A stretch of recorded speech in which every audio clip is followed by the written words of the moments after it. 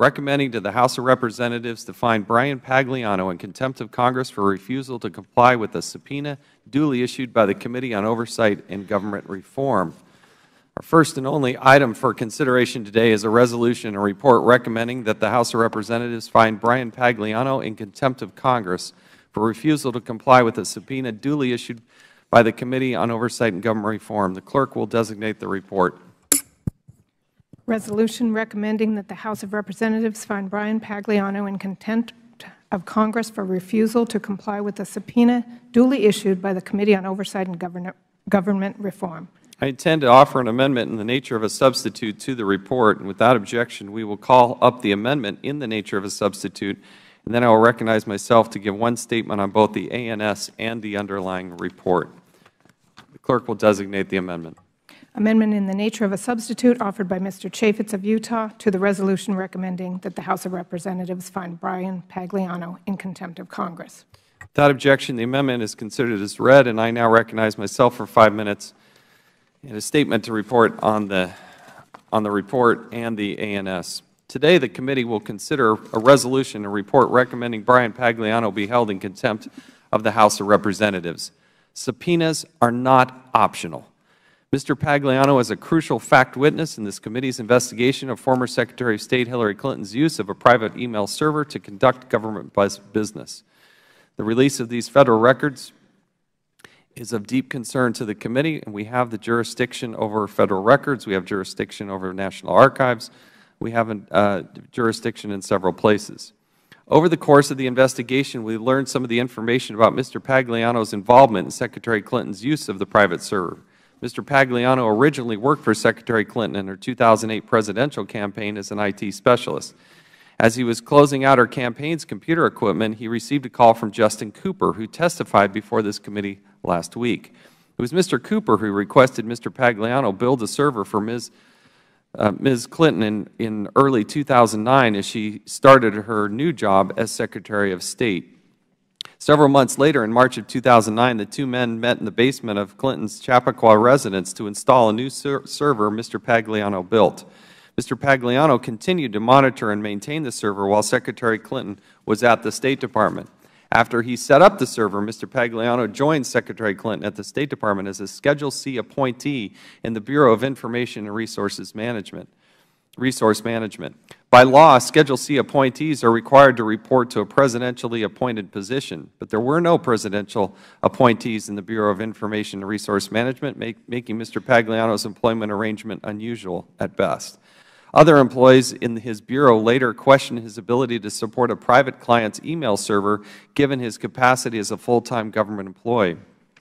Mr. Pagliano left the State Department in February of 2013, the same month as Secretary Clinton. Even though he worked at the State Department for almost four years, the agency has been only able to find a handful of emails. We have questions about this. Mr. Pagliano's emails are Federal records, just like Secretary Clinton's emails and subject to production in response to a Freedom of Information Act request. The, the committee has jurisdiction of both the Federal Records Act and FOIA. We also have a long record of oversight, investigative, and legislative work in this area. The committee subpoenaed Mr. Pagliano to appear at a hearing on September 13, 2016. He did not show up to that hearing. I explained Mr. Pagliano was uniquely qualified to provide testimony to help the committee better understand Secretary Clinton's use of a private email server. This is undisputable. I also made clear the committee would consider all options regarding Mr. Pagliano's failure to appear, including consideration of recommending he be held in contempt. The committee then heard several hours of testimony from Mr. Cooper, who was also involved in setting up Secretary Clinton's email uh, server. Mr. Cooper, to his credit, explained a lot. We did appreciate his participation in answering all the questions that this committee asked. Throughout his testimony, Mr. Cooper routinely referred to Mr. Pagliano as the individual more appropriate to answer questions who knew more about the server. It was clear from Mr. Cooper's testimony, his words, not ours, that we needed to hear from Mr. Pagliano. Mr. Pagliano's attorney asserted asserts because his client took the fifth before the Select Committee on Benghazi, he shouldn't be required to provide testimony to this committee. That is not a good faith argument. It makes no sense for a number of reasons. First and foremost, the Select Committee's jurisdiction is limited. It only relates to September 11, 2012 terrorist attack in Benghazi. In contrast, this committee's jurisdiction is broad and includes both legislative and oversight of the Federal Records Act and the Freedom of Information Act. Questions about these two topics alone are well outside the purview of the Select Committee's investigation. Secretary Clinton's emails and Mr. Pagliano's were subject to both of these laws. Mr. Pagliano could explain what he knew or what he was or was told about those these laws. He could tell us whether or not they were considered by him or others in setting up Secretary Clinton's private email server. Mr. Pagliano's testimony could provide important information informing legislative reforms this committee may want to consider ensuring that this disaster never happens again.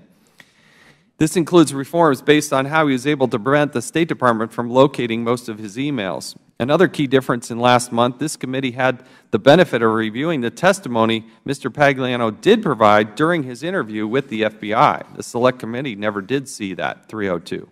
Nor was the Select Committee aware of the thousands of classified emails that traveled over uh, Secretary Clinton's server when they spoke with Mr. Pagliano.